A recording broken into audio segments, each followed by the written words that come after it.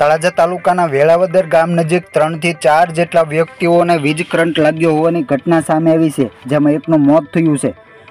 બનાવ અંગે પ્રાપ્ત થતી માહિતી અનુસાર ભાવનગર જિલ્લાના તળાજા તાલુકાના વેળાવદર ગામ નજીક આજે પીજીવીસીએલની ટુકડી કામ કરી રહી હતી. તે દરમિયાન ત્રણથી ચાર વ્યક્તિઓને વીજ કરંટ લાગ્યો હતો, જેમાં અન્ય બે વ્યક્તિઓને નજીવી ઈજા થઈ હતી. જ્યારે અન્ય બીજા બે વ્યક્તિઓને ગંભીર ઈજાઓ થઈ હતી, જેમાંથી એકનું મોત થયું હતું. જ્યારે એક વ્યક્તિને ગંભીર હાલતે તળાજા શહેરની એક ખાનગી હોસ્પિટલમાં સારવાર અર્થે ખસેડવામાં આવ્યો હતો.